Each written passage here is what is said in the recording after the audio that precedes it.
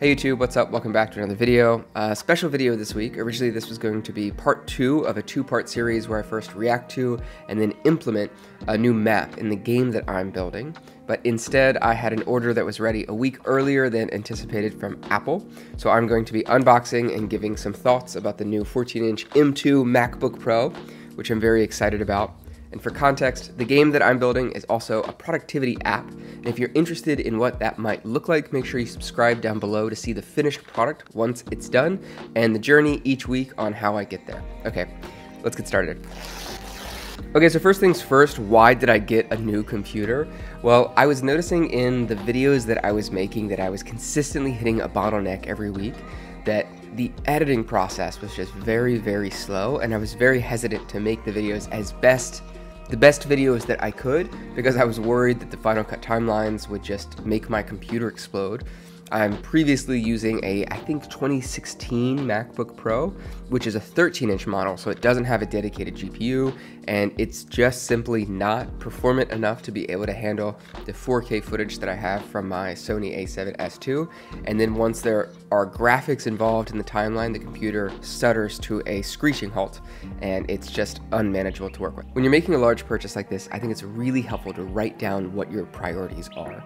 Let's say you're debating between a 16 inch and a 14 inch M2 MacBook Pro.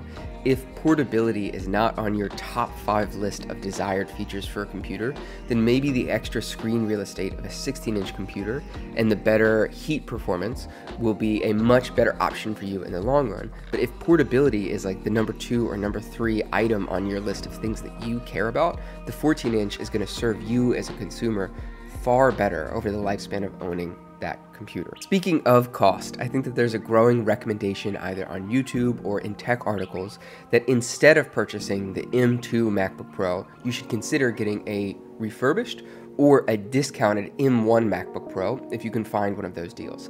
I think this is a fairly decent recommendation, and maybe students or people that are especially cost minded, you should really consider going this route.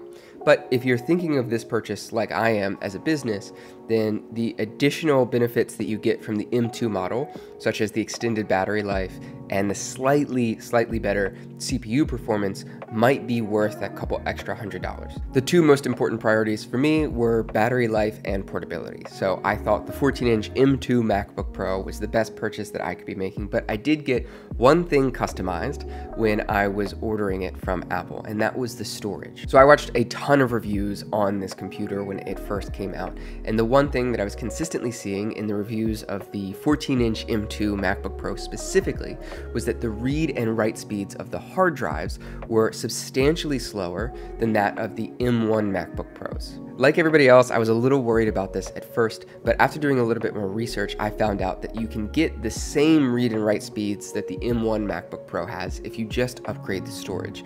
And the issue stems from Apple using larger hard drives for the base model. So instead of two 256 gigabyte hard drives running in parallel on the base model to make up 520 512 gigabytes of total storage, they're just using one 512 gigabyte hard drive. So the read and write speeds are bottlenecked in that regard to one hard drive.